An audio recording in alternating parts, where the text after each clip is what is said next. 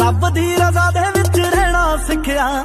ਕੀਤਾ ਕਿਸੇ ਗੱਲ ਦਾ ਗਰੂਰ ਕੋਈ ਨਾ।